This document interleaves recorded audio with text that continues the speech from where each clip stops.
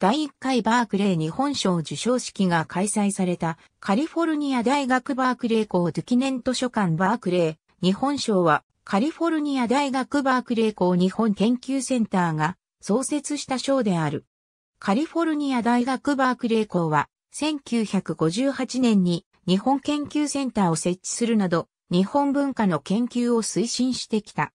同センターは米国主要大学附属日本研究センターとしては、先駆的存在と評されており、カリフォルニア大学バークレー校は、アメリカ合衆国国内において、日本文化の研究が盛んな大学の一つである。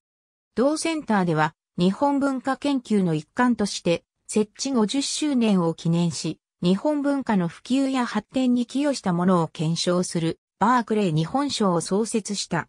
第1回バークレー日本賞は2008年に作家の村上春樹に授与された。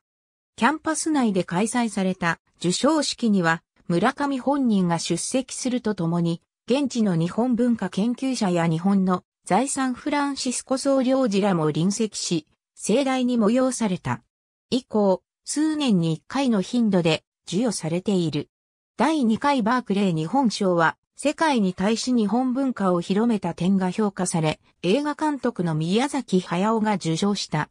現地での受賞式には、宮崎本人も出席した。また、宮崎が出席したシンポジウムには2100人ほどのファンが集まった。それ以外にも関連するシンポジウムやイベントが多数開催された。ありがとうございます。